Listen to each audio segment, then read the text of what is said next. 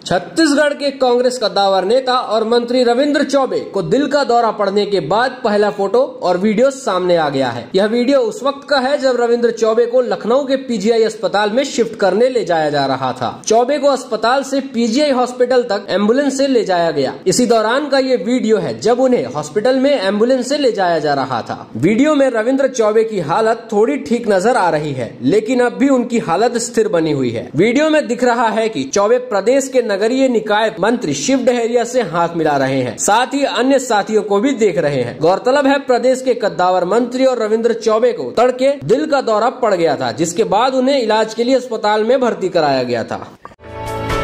For more news updates, do subscribe, like, share and comment. Clipper 28